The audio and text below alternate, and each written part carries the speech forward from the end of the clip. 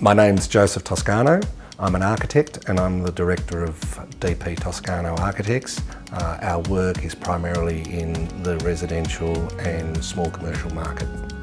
The building industry is is quite a technical industry. We need to know about design, we need to know about running the business, but we also need to have a fairly strong understanding of building construction uh, and building technologies. People entering into architecture school, I'd be always encouraging them to get an understanding of what building and building processes are.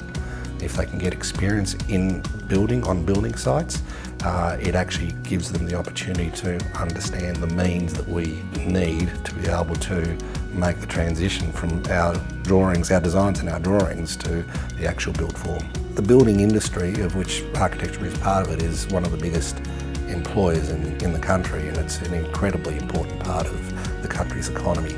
So there's always going to be building and I can only imagine there's always going to be a role for architects in those buildings.